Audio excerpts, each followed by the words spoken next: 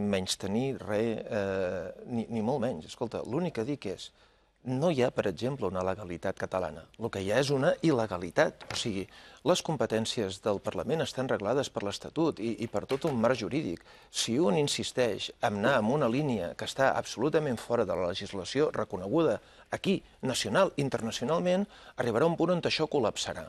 I, per tant, com que això col·lapsarà, arribarà un punt on eh, la gent acabarà inhabilitada, on senzillament les institucions deixaran de funcionar i algú tindrà que ocupar legalment el seu espai per protegir drets i deures de la gent. I quan jo dic, escolti, eh, a la gent no se la pot enganyar explicant que el com i parlant de realitats o de legalitats paral·leles o de legalitats catalanes, el que estic dient és això. Lluny de tenir-ho, a mi tot plegat eh, em, sembla, em sembla molt fort. Però també dic que Ara. això en el context en el que estem, eh, és absolutament, absolutament irrealitzable. I agafant lo que